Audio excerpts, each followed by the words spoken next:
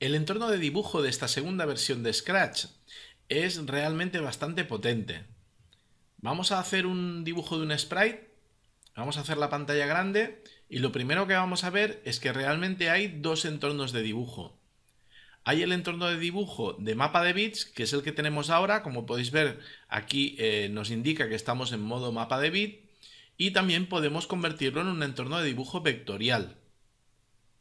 La diferencia entre el mapa de bits y el vectorial, como algunos debemos saber ya, es que eh, en uno lo que se hace es pintar los píxeles uno a uno y en el otro cada una de las formas se guardan en modo de vector, con lo cual es mucho más sencillo escalarlas y hacerlas más pequeñas o más grandes o modificarlas. Un mapa de bits, una vez dibujado, podemos borrar píxeles o añadir píxeles, pero no podemos modificarlos. Las herramientas de las que disponemos en este editor de mapa de bits eh, son un poco las clásicas que podemos encontrar en cualquier editor de dibujo. Podemos cambiar el grosor de la línea, podemos elegir el color de la línea, incluso este color rayado que sería el color transparente, y podemos dibujar líneas, podemos dibujar cuadrados, podemos dibujar círculos. Cada uno de estos, a la hora de dibujar, podemos elegir si es relleno o si es tan solo el, borde.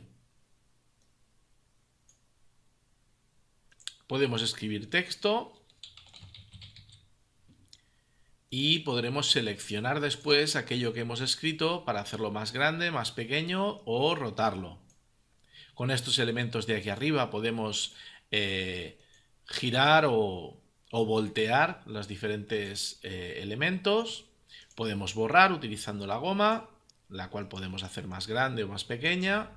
Y podemos seleccionar un trozo del eh, dibujo y moverlo o hacerlo más pequeño o más grande o copiar y pegarlo y hacer una, una dúplica utilizando el tampón de clonar.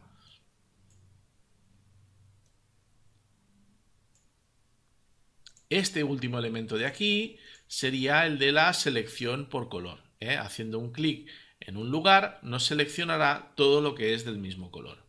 Una de las cosas interesantes que podemos hacer en, este editor de dibujo es cargar una fotografía y eliminarle el fondo para hacerlo transparente. Vamos a cargar una imagen que tenemos en medio del escritorio. La vamos a hacer un poco más pequeña y la vamos a editar.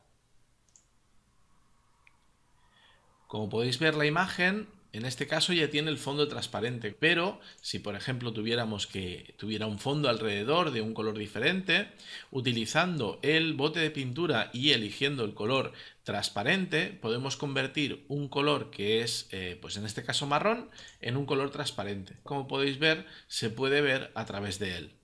Bien, vamos a hacer un poco de limpieza. Vamos a eliminar objetos que tenemos eh, que hemos hecho de prueba y vamos a seleccionar el propio gato y vamos a trabajar en modo vectorial. El modo vectorial eh, me va a permitir, cuando hago una selección eh, voy a poder escalar el dibujo todo lo que quiera sin perder, resolución y es porque estas imágenes no se han grabado en modo de mapa de bits de, de píxel, sino que se han grabado los vectores. Veamos qué quiero decir. Si pulsamos el reformar y marco alguna de las líneas, veréis que lo que me ha guardado son los nodos y estos nodos yo los puedo modificar para cambiar la imagen o puedo dibujar otra forma y al seleccionarla pues puedo modificar esa forma después ya que tengo cada uno de los puntos de inflexión.